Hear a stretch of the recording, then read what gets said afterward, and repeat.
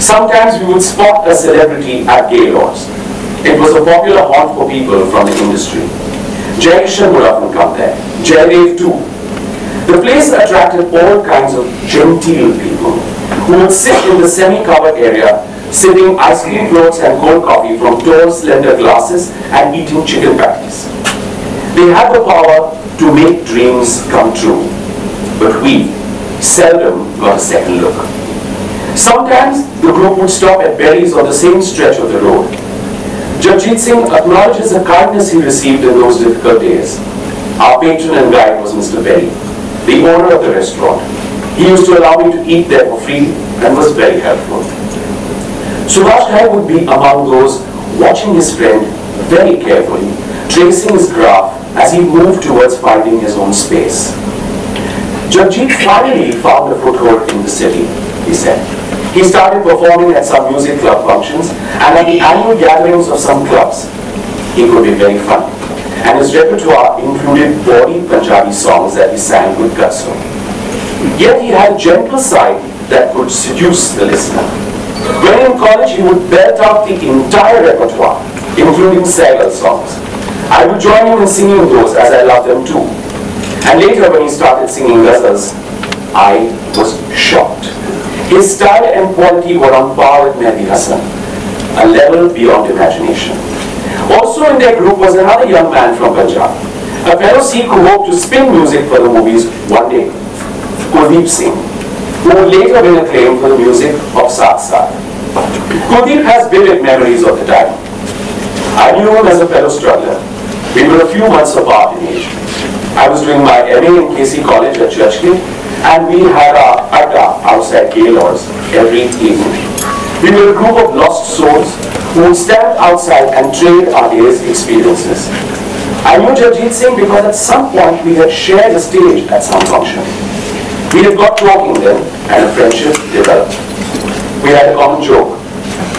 I would tell him, when I get my chance as a music director, will you sing for me? And he would say, just let me get my chance in a film and I will get you on board to make the music for it. I would stop for a pan sometimes and if he happened to pass by, he would call out, where is my chance? When is it coming? It was all talk in the air. The hopefulness of the hopeless. Their camaraderie involved keeping one another's morale high and helping wherever they could. Jagjit Singh was luckier than most.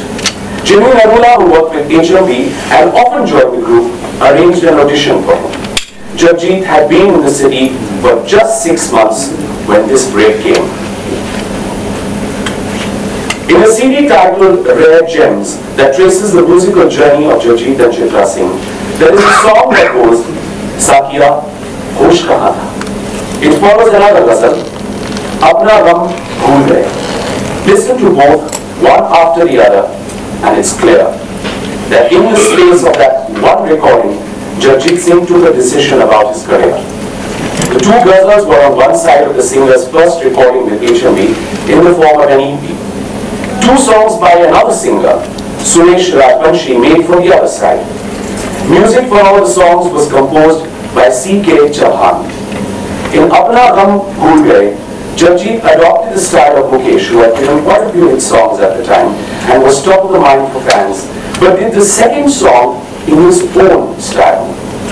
He was casting the dice and hoping to be accepted.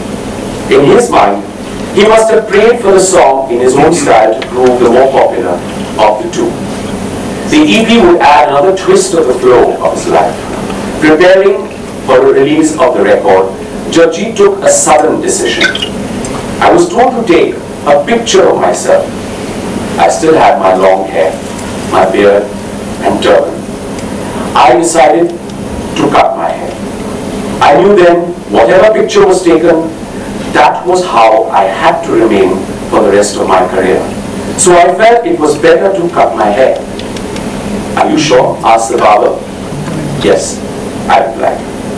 When he presented himself that evening to sing at a wedding reception, as he had been contracted to do, it took a lot of persuasion before he could convince the organizers that he was indeed the singer for the evening's entertainment.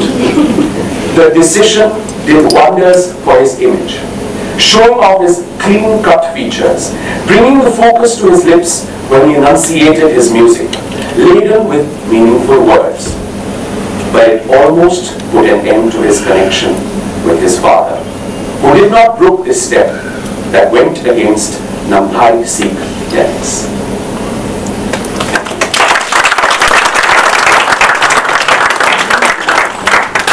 Thank you, Rajat. That was wonderful. I'm so immersed. मेरा भी कुछ थोड़ा बहुत रिश्ता था चित्रा जी जानती है 75 में अ, जगजीत साहब और चित्रा जी आई थी हैदराबाद मैं कुछ 19 साल का था कॉलेज में so I went to the auditorium which was Ravindra Bharati in Hyderabad and I remember in the afternoon we walked in and uh, he was rehearsing he was in the aisle and he said, uh, my father took me to him and he said, uh, this is my boy and he likes to sing. I said, how? That's what he said, you don't know this. He said, आगे गाओ आज मैंने कहा अरे मैं कैसे गाऊँगा मैंने कहा आप हमारे घर आइए The next day I said, please come for dinner. So he said, नहीं नहीं we can't come for dinner, we're leaving tomorrow night for Bombay. तो मैंने कहा लंच पे आ जाइएगा ठीक है तो दूसरे दिन cut to as you say in film language cut to lunch afternoon Chitra ji